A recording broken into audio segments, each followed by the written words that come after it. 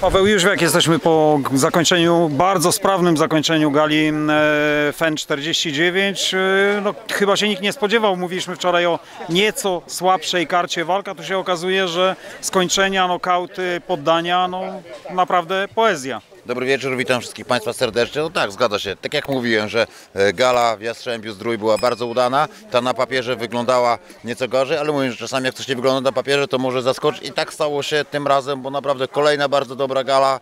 Fajne nokauty, skończenia, szybka, dynamiczna gala, bardzo, bardzo w ogóle fajne walki, zwroty akcji, także jestem bardzo zadowolony po raz kolejny. Także ta trylogia Fenu, ten Fen razy 3 naprawdę jest jak na razie bardzo, bardzo udana. To może od razu bonusy, kto, co i tak dalej, może od razu Wiecie, tutaj... ja nie jestem zwolennikiem, zwolennikiem bonusów tak na bieżąco. Wiadomo, że jeśli chodzi o KO wieczoru, tutaj Robert y, Maruszek rozbił bank.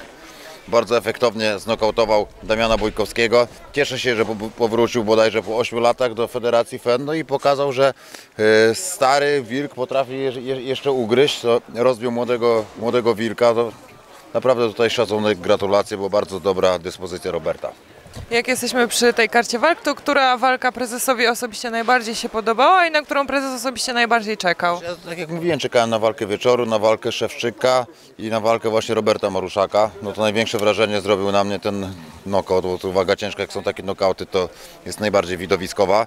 No walka wieczoru nie rozczarowała mnie w ogóle, tak, no bo zwrot akcji dominował Kraska w pierwszej rundzie, w pewnym momencie miał Adriana, wydawało mi się już podłączonego. Adrian to przetrwał i wykorzystał jeden drobny błąd y, Kamila i wygrał to przed czasem, to pokazał, że jednak co znaczy doświadczenie w tym sporcie. No to naprawdę bardzo doświadczony zawodnik. Adrian ma chyba ponad 30 walk zawodowych. No Kamil jest w porównaniu do niego stosunkowo młodym zawodnikiem, wszystko jeszcze przed nim, także tutaj Zieliński pokazał się z bardzo dobrej strony. Szkoda mi troszeczkę Kamila, ale wiem, że to, to jest mocny sportowiec, bardzo ambitny i na pewno wyciągnie e, z tego wnioski. A propos Adriana Zielińskiego, to zdradził nam w wywiadzie, że jego kontrakt z Fenem dobiegł końca z tą walką. I czy będziecie chcieli dalej zakontraktować go na następne pojedynki? Wiecie, no na pewno jesteśmy Adrianem e, zainteresowany, zainteresowani współpracą, bo to fajny zawodnik, długo jest z nami, ale mówię, tak jak w przypadku czasami się napinam z innymi zawodnikami, to tutaj na, nawet, nawet bym się nie zdenerwował, jakby on nawet poszedł do KSW, bo to jest chłopak, który już się bije tyle lat, jest na, ma końcówkę swojej kariery, że nawet mu się to należy, Ta- tam, tam jeszcze nie walczył, nawet jakby tam poszedł, to, to naprawdę nie miałbym e, żadnego urazu, wręcz trzymałbym za niego kciuki, to po prostu jest końcówka jego kariery, no jak, jak teraz tam nie zawalczy, to kiedy. Także wiadomo, jesteśmy zainteresowani, no ale też, e, też nie będziemy jakoś w jakimś stopniu tego utrudniać, ani jakoś bardzo się tym martwić. Jak jesteśmy przy temacie tej gali, to jak pod względem organizacyjnym udała się kolejna edycja w Brągrowie? E, czy trener jest zadowolony? No bo tak jak mówiliśmy, Jastrzębie Zdrój, Brągowo, później Gliwice i e, jak e, możemy podsumować pod kątem organizacyjnym? Trener nie jest zadowolony, ale pre, prezes jak najbardziej.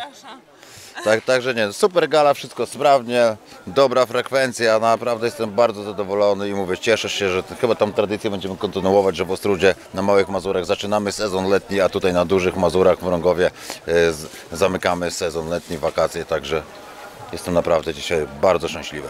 Tour de Fen można powiedzieć, ale jeszcze chcę wrócić do, do Bartosza Szewczyka, czyli rozumiem, że kolejny przeciwnik to jest ten rewanż, ten wyczekiwany rewanż, który miał pierwotnie odbyć się na tej gali, czy jest jakiś jeszcze inny może pomysł na, na Szewczyka?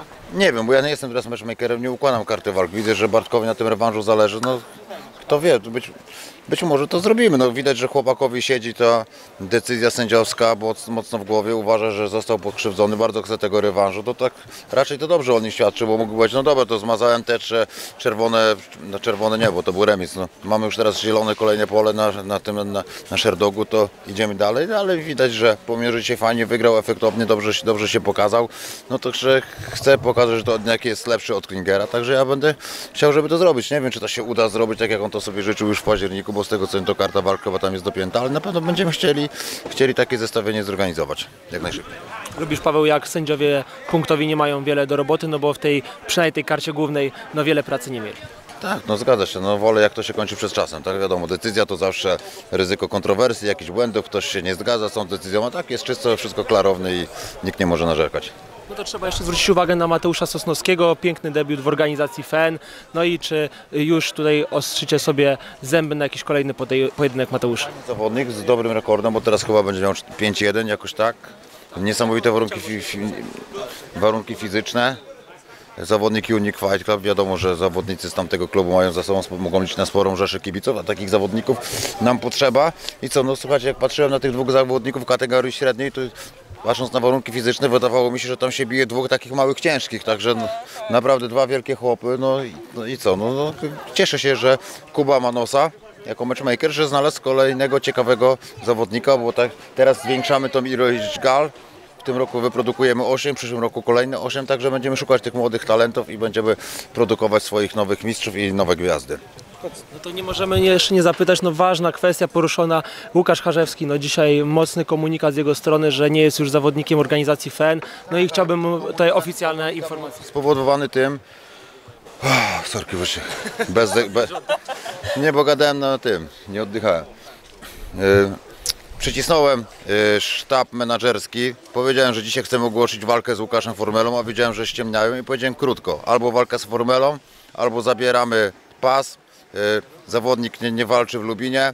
Yy, Zostanie kontrakt przedłużony o kol- kolejne 3 miesiące i, i, tyle. I tutaj nie, nie walczy. No, oni chcieli uprzedzić fakty, bo widocznie tak bardzo nie chcieli bić się z tym Formelą, że po prostu skąd, stąd ten jego pierwszy wpis, że rzekomo ten kontrakt się skończył i tak dalej. Słuchajcie, to ja wszystko rozumiem. Łukasza bardzo szanuję, chłopak, co bardzo dużo bił się w fenie. Nie wiem, gdzie tkwi przyczyna. Wydaje mi się, że ma wokół siebie złych doradców, kto mu źle doradza.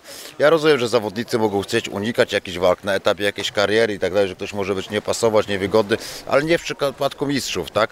Ja w przypadku mistrzów nie pozwolę na coś takiego, żeby zawodnik sobie wybierał rywali, tym bardziej, że Kasper Formela to jest ten zawodnik z kategorii niższej, 66 kg. Początkowo plan był taki, bo Łukasz ma umowę na 66 i na 70 kg, żeby zrobić to zestawienie kategorii piórkowej.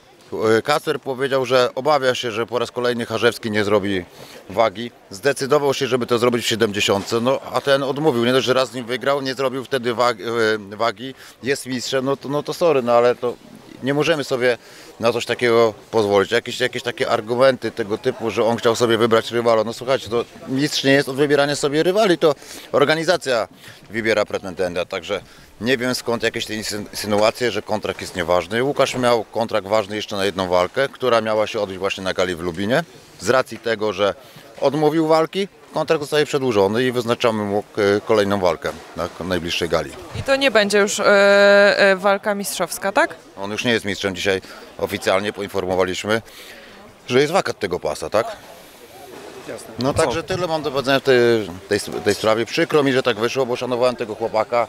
Jest to były zapaśnik, prawdziwy sportowiec z krwi i kości. No myślę, że ktoś tam mieszał, źle mu doradza, a mówię, nie ma czegoś takiego i nie może żaden sportowiec powiedzieć, że jest mistrzem i odmawia walki, tym bardziej z zawodnikiem y, z, organi- z organizacji, tak? Ja rozumiem, jakby mu ściągnął jak, jak jakiegoś dzika z Dagestanu, jakiegoś mocnego za, zapaśnika, cokolwiek i to mógłby coś marudzić, że nie, bo, bo, bo, bo nie wiem co, ale nie, że chłopak, którym raz już wygrał jest z niższej kategorii wagowej, chce się z nim bić w 70, a on robi wszystko, żeby tym zawodnikiem się nie robić. Jest to po prostu przykre mi jest z tego powodu bardzo przykro. Dziękujemy w takim razie. No i I zapraszamy widzimy- na galę FEN 50 w Gliwicach. Tak. Do Widzimy Gliwic za tydzień. Widzimy za tydzień, nie zwalniamy tempa. I nie będzie musiał prezes narzekać na naszą absencję, bo będziemy. Także działam, no liczę na Was, li, liczę na Was, także dziękuję bardzo. Dziękujemy serdecznie. Wszystko dobrej nocy życzę. Dzięki. Dzięki.